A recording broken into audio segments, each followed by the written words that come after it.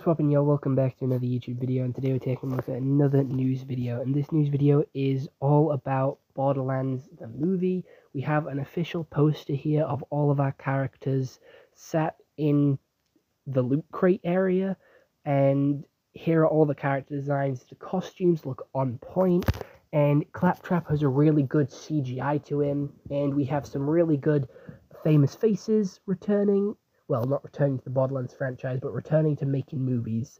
We have Jack Black playing Claptrap, which we knew before. We knew everyone's casting before, but getting to see them in costume just like really sells it because Claptrap is like one of the loudmouths, one of the annoying characters, and he's being played by Jack Black, which I feel like he will change Claptrap into more of a fan favorite that everyone likes instead of everyone hates and we also have Kevin Hart here as well. So you just know it's going to be such a good film with such good comedy. Unfortunately, they didn't get The Rock as Craig. I would have thought that would have been really cool just to have The Rock and Kevin Hart going back and forth with each other. But it still suits everyone, is still cool, and their outfits are so accurate to the game. We have the story.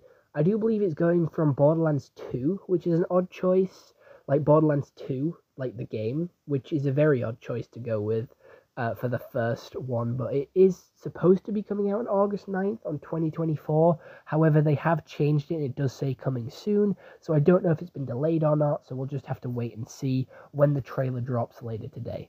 Other than that, I hope you all enjoyed. See you all next one. Have a nice day and goodbye. Stay home and stay safe.